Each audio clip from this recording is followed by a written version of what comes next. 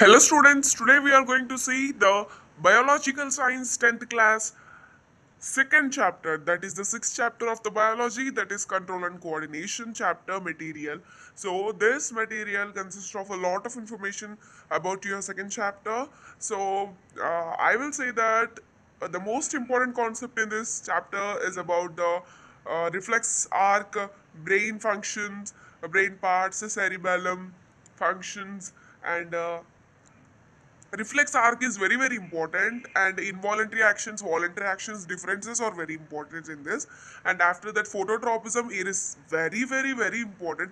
Phototropism will definitely ask asked in a, in, a, in your examinations. So uh, there is an activity on the phototropism concept so that phototropism concept uh, will be definitely asked for 8 marks questions so it may be last question or the 17th uh, or the 16th question maybe so phototropism is very important from this chapter. And i can say that reflex arc is very important. And uh, as i said at the starting voluntary and involuntary uh, differences is very important and at the starting we have a word called synapse. So that word synapse is very important because uh, it can be asked for one mark question in your examination. So uh, they will just ask like uh, what is synapse? Or what is the function of synapse? Like that. They will ask for one mark question. And uh, this can be this where is the synapse is present? So what is the synapse is called? Like this they can be asked the question they can be asked the question in any way. So you should have to learn about the synapse. And as well as you should have to learn about the nerve cell because nerve cell diagram is definitely they will ask in your examination. So if we talk about the diagrams they will ask uh, nerve cells uh, female reproductive system male reproductive system uh, section cross sectional of flower longitudinal uh, section of flower so those uh, sorry cross cross section of leaf there is it is the cross section of leaf longitudinal section of flower. So these can be asked. And uh, we will talk about these diagrams in uh, upcoming videos. So let us see our material now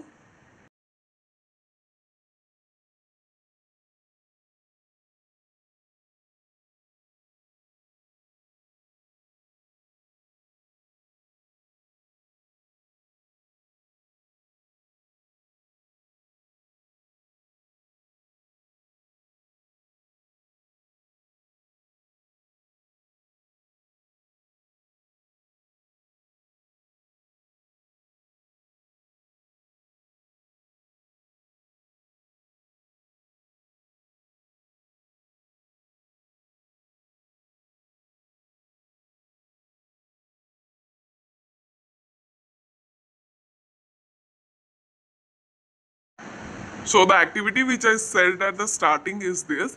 So this is the phototropism activity, which is a very important activity.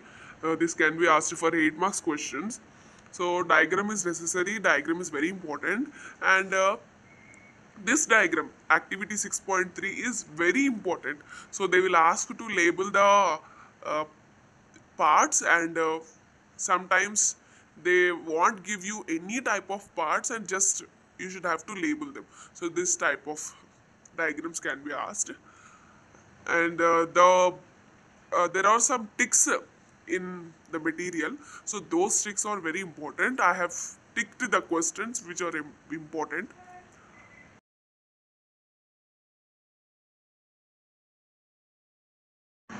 From here you will see that there are examination pattern and uh, questions according to the pattern of examination